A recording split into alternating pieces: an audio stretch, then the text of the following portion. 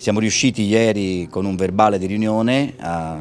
a mettere nero su bianco 150-160 persone che dovrebbero essere stabilizzate nei prossimi mesi. Si è concluso con un programma condiviso di riassunzioni l'incontro che si è svolto ieri a Siena tra sindacati e vertici di Sei Toscana, azienda che gestisce il servizio dei rifiuti nei territori di Siena, Arezzo, Grosseto ed alcuni comuni del Livornese. Il braccio di ferro tra aziende e sindacati era iniziato quest'estate dopo che il gestore aveva mandato a casa circa 250 dipendenti interinali. La stabilizzazione per quanto riguarda i primi 45 della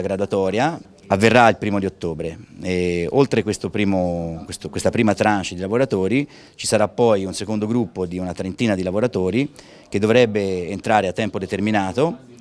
già dal mese di ottobre e da gennaio eh, arrivare poi a una stabilizzazione. Si ragiona anche di altri 25 lavoratori eh, per i quali ancora le tempistiche e le modalità non sono state eh, diciamo, dichiarate, però mh, complessivamente ecco, si parla comunque di 100 lavoratori che dovranno spero entro gennaio eh, essere eh, stabilizzati. Si parla comunque anche di altri 60 dipendenti, dovrebbero essere comunque assunti intanto con un contratto a tempo determinato e poi eh, prevedere anche per loro una stabilizzazione successiva. Sicuramente si farà riferimento a una graduatoria che ha come unico criterio quello dell'anzianità, quindi quello delle giornate effettivamente prestate attraverso le agenzie di somministrazione. Noi vigileremo affinché il verbale si,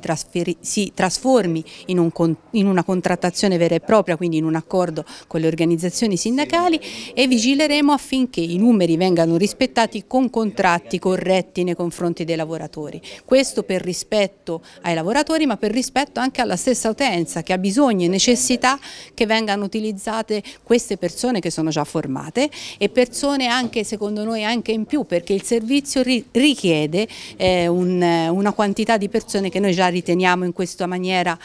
insufficiente, per cui abbiamo chiesto a Sei Toscana di darci i numeri effettivi sul, sul fabbisogno, quello che è necessità e abbiamo chiesto soprattutto un impegno ai sindaci affinché anche loro eh, si mm, impegnino per chiedere eh, un servizio che garantisca e che sia garantito eh, per i cittadini.